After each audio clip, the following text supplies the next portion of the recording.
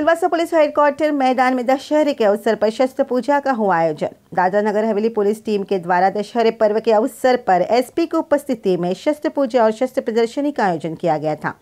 SP Sharad Darade, SDPO Manasvi Jain के हाथों से धार्मिक विधि अनुसार पूजा कराई गई थी। उसके बाद पुलिस विभाग द्वारा शस्त्र प्रदर्शनी करने में आई थी, जिसमें उपस्थित मेहमानों और विद्यार्थियों ने इस प्रदर्शनी का लाभ लिया। बता दें कि बालकों में शस्त्रों की जानकारी के लिए उत्सुकता देखी गई। इस अवसर पर SP Sharad Kharade, SDPO Manasvi Jain, PSI Chhaya Thandel, Silvassa नगर पालिका प्रमुख राकेश सिंह चौहान वन विभाग के अधिकारी दिनेश कंदन, पुलिस विभाग फायर फाइटर की टीम शाला के शिक्षक और विद्यार्थी उपस्थित थे।